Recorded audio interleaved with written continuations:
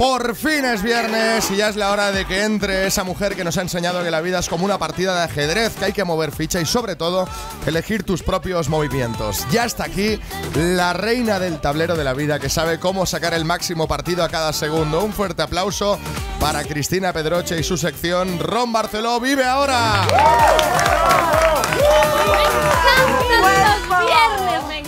Qué feliz soy los viernes. Soy feliz todos los días. Pero Tendrías los que entrar en viernes plan reverendo, en plan, vive, vive hermano, vive. Aleluya. Que, hombre, es que el viernes es un día de aleluya. más. Oye, quiero que un día lo hagamos todos, como si fuera esto gospel. Claro, en plan gospel. Venga, vale. El próximo día lo ensayamos, ¿eh? Venga. Venga. Y lo de cantar también. Bueno, a ver, ¿cómo ha ido vuestra semana? Larga. Bien, sí. Bien, a ver, que ¿algo bien. que destacar? ¿Algún momento vive ahora que contarme? ¿Algo que confesar, hermanos? Está, estáis muy flojos. No, Mira, no, y eso que es viernes. ¡Venga!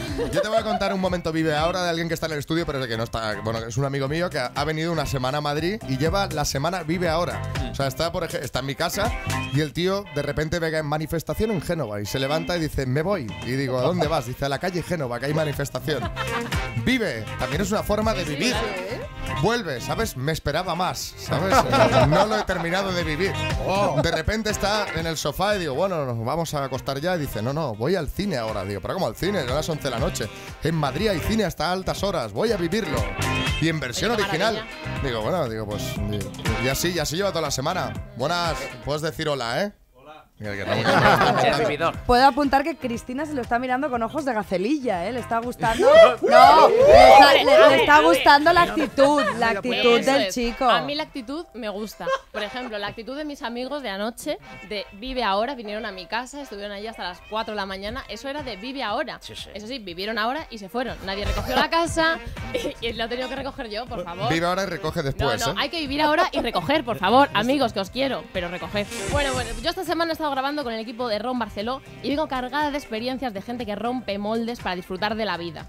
¿Alguna vez vosotros habéis fingido ser otra persona? Oh. Contarme, no me contéis momentos íntimos, aunque en el fondo es lo que quiero saber.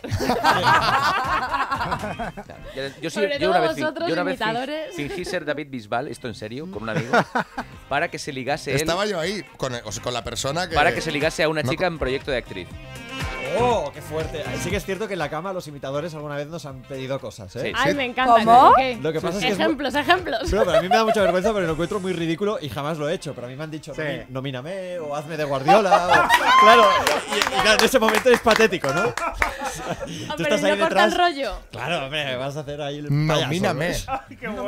No, rollo Rajoy. Sí, ¡Oh! sí, Se te baja todo. Quita, quita. claro. Ra- Ra- Sí, Rajoy. imagínate, sí, sí, sí, sigo, sigo, sigo, sigo.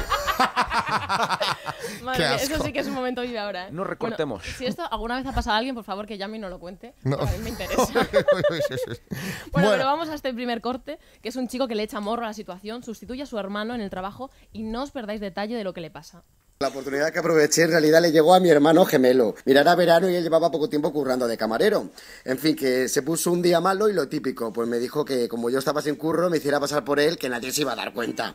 Yo las únicas copas que había puesto en mi vida, no te digo más, que habían sido las que había puesto en mi estómago.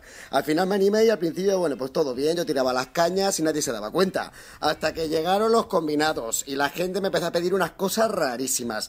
Yo me iba inventando todo sobre la marcha, es que le echaba de todo, echaba las copas con pepino, al final le, pus- le ponía plátano, perejil, gominolas, vamos, que en vez de combinados parecían gazpachos. Total, que el jefe me empezó a mirar raro, empezó a sospechar y yo, entre que soy paranoico y honrado, le confesé pues que no era yo, vamos, que era el hermano de su contratado. Parece que le gustó, yo creo, eh, que yo fuera sincero, mi forma peculiar de poner las copas, porque unos meses después necesito otro camarero, oye, me pilló a mí.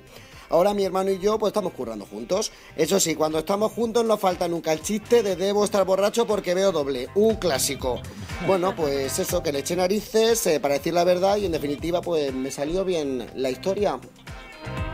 Hombre, le echa morro a la situación y al chico le sale bien, ¿eh? Es que hay que lanzarse en la vida, ¿eh? Exactamente, buenos días por alusiones. Soy Kiko Matamoros. Por alusiones yo también. Exactamente, es decir, en su día yo me cepillé a Lidia Lozano haciendo ver que era Coto. En serio. Sí, sí, lo que pasa es que ahora, como llevo el tatuaje, lo tienes más crudo, chaval. Bueno, venga, vamos con otra experiencia vive ahora. Sí, porque vosotros sois de, los de los típicos de borrón y cuenta nueva. O sea, llevo una época mala y digo, venga, me corto el pelo, me tiño, me, yo qué sé, me pongo a dieta, Me alguna cosa así. Tuve, yo por ejemplo tuve, tuve una época de, de teñirme el pelo. ¿Y Sí. qué, te, qué te hacías? ¿Mechas en plan pollito? No, no, no, no, no. Cuando tenía Mucho 17, peor. 18 años, verde, azul, ¿sabes? No encontraba mi lugar en la vida y lo... ¿Y pensabas que con eso lo ibas a encontrar? Sí, sí. Hasta que mi madre me pegó un collejón. Me dice, ¿dónde vas? ¿Dónde vas? Pasa, Y dije, pasa, pasa. Tira, tiro, tiro para adelante que te voy a pegar. Y corta del pelo. ¿Tú alguna vez, Aina, te has cortado el pelo en plan, quiero cambiar de todo, quiero cambiar de aire, me corto el pelo? Sí, me corto el pelo, me tiño, sí, hago cosas así, o a lo mejor tiro medio armario de ropa y compro ponchos, esa es en la línea que estoy ahora. Oye, que vienes siempre muy guapa vestida, si es que metís con ella no entiendo por qué. ¿Ves? ¿Ves? Una Pero que es que sabe. encima lo dicen ellos. Un Lo momento. dicen ellos, Muy ¿sabes? Por favor, que. Alan lleva unas zapatillas feísimas, Bueno, lo tenía que decir. Estamos faltando, ¿eh? Esto es A ver, un- a debate, ver un ¿eh? momento, es que los viernes, Aina, a ver, no por nada. Aina, cuando tú sales co- con Aina de noche y eh, viene perfecta, guapísima, es la chica ideal para llevar a cualquier evento. Pero por las mañanas la cosa mm, Eso es una tontería, Xavi. Ella viene. es perfecta a cualquier hora. No, los viernes, los viernes, cuando venís, eh, Ainhoa y tú, Sí. se arregla más que el resto de días.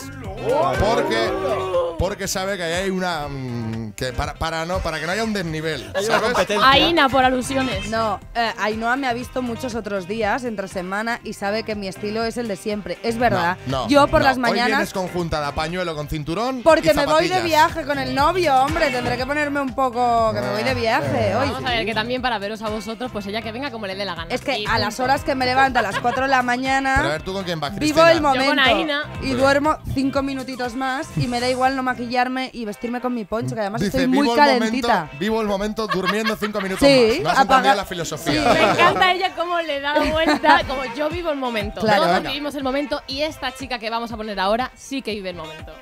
¿Mi experiencia vive ahora?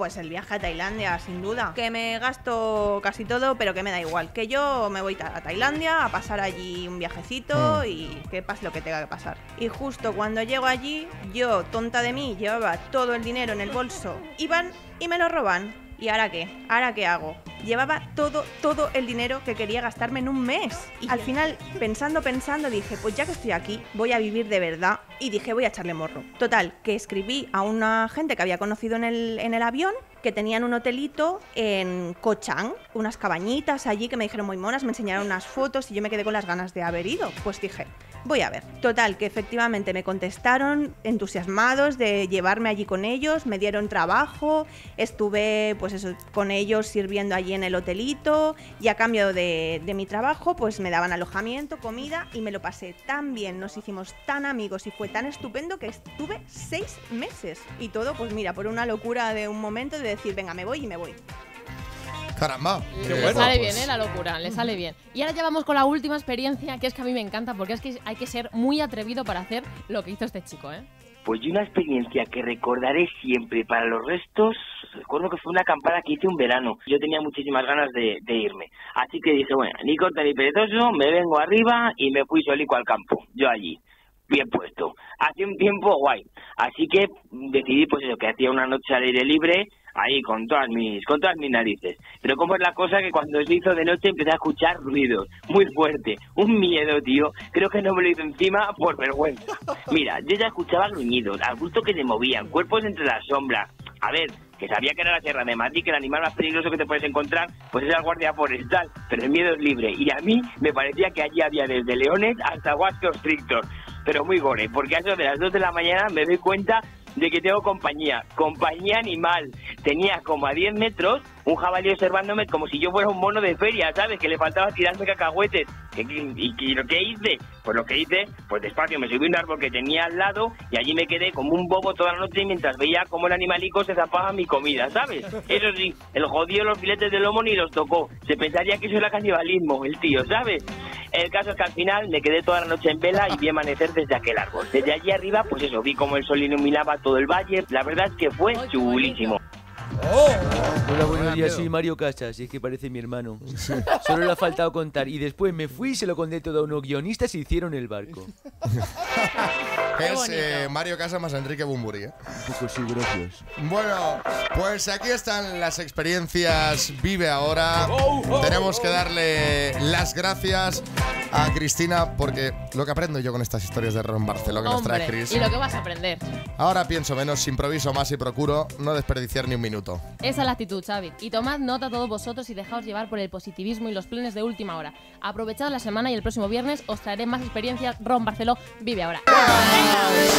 Ron Barceló es Vive Ahora, es sentir, es reír hasta llorar, es viajar sin prejuicios. En siete días, Ron Barceló te traerá nuevas vivencias. Hasta entonces, sacudiros los tópicos de encima, dejaros llevar por las emociones y vivid cada momento como si fuera el último. Ron Barceló es Vive Ahora.